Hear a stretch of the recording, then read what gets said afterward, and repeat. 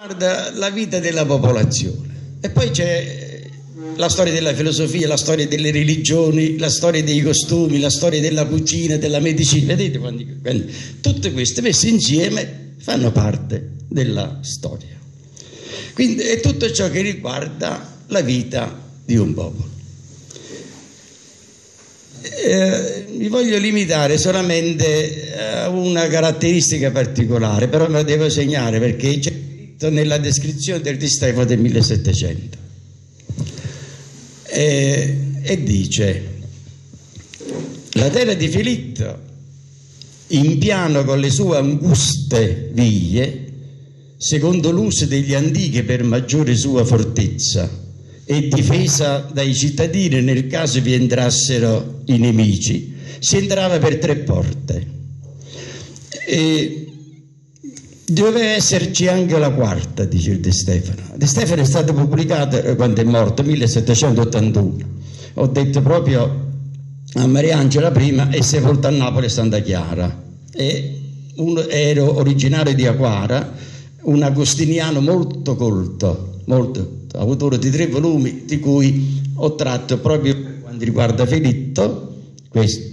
Eh, ogni paese viene, viene descritto con i discorsi, il discorso su Filippo. E quindi questo pezzo che adesso vi leggerò giusto un, un minuto riguarda proprio Filippo.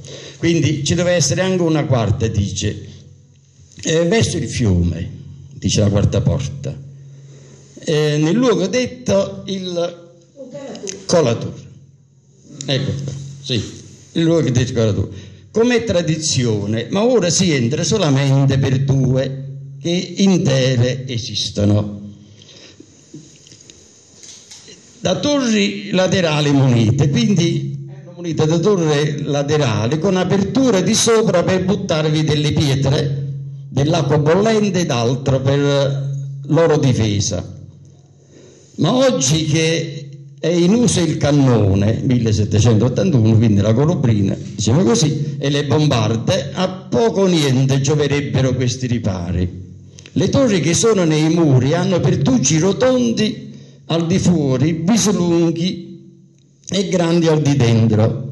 Balestrieri chiamati da Monsignor Francesco Patricio, che quindi si rifà una fonte pure lui, appartenenti a una città libera, nei quali stavano anche situate delle macchine dette scorpioni, a guisa di balestre, dalle quali si servivano per lanciare pietre, ma non erano di gran portata e ferivano senza che si scoprissero quanti si avvicinassero alle mura. Antichissimo il castello, forse dagli enotri edificato, è sito su un'eminenza di monte che alla parte del fiume alte e inaccessibili rupi, che inespugnabile lo rendevano.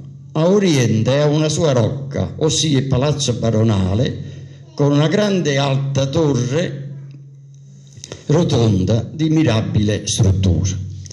Poi si parla ancora delle difese dei merli e in più c'è una descrizione per quanto riguarda la produzione. L'Università di Feritto è ricca di rendite perché possiede bandite, ossia difesi e boschi di ghiande. Il suo vastissimo territorio è fertile di grane, di altre biadi, abbondanti e generosi vini di castagne, di ciliegi, di ogni sorta di frutta e di olio. Dagli orni, l'orniello, si raccoglie abbondante manna. Vi sono greggi di pecore, di vacche e altri animali onde abbonda il miele e la cera. Scasseggia l'acqua. Presa in una fontana vicino al fiume, per essere parte di quello in tempo di estate è cattiva, perché imbevuta dai lini che nello stesso fiume si curano Sebbene nel detto luogo il casale dovrebbe essere la parte pianeggiante prima di arrivare a Feritto, vi è acqua assai pregevole ma alquanto lontana. L'aria non è cattiva, sebbene non delle squisite. Nell'ultimo contagio pestilenziale del 1656 pochissima gente vi restò e tutti vedovi, come si nota nei libri parrocchiali di questo tempo. Poi dice l'ultimo barone di questa terra fu Geronimo Carafa, eccetera. tra il 1763 e il 1764, quindi diciamo eh, circa 24-25 anni prima della Repubblica Partenopea, quella che diciamo adesso, 99, ci fu in tutto il regno di Napoli una terribile carestia. Nel Cilento specialmente cominciò a scarseggiare ogni sorta di frutto sembrava che l'aria, adesso sono, tra, sono virgolettate, quindi eh, sembrava che l'aria e la terra fossero state maledette.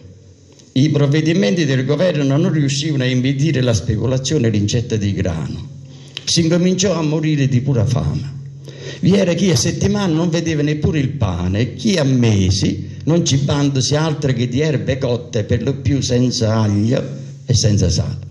I parroci furono impegnati intensamente a distribuire l'estrema unzione anche nelle strade. Tanta era la moria, la mancanza di grano sconvolse improvvisamente il corso ordinario delle cose, riportando per lo spazio di un anno la metifica atmosfera di paura, di anarchia, di morte che pone al di là di qualunque collocazione storica la vita dell'uomo. In Salerno sono morti tanti che venne nuovo ordine che se ogni giorno ne fossero morti diversi, con timore di infezione i cadaveri dei medesimi fossero bruciati. Un miglio distante dalle, dalle rispettive terre e che le ceneri poi fossero seppellite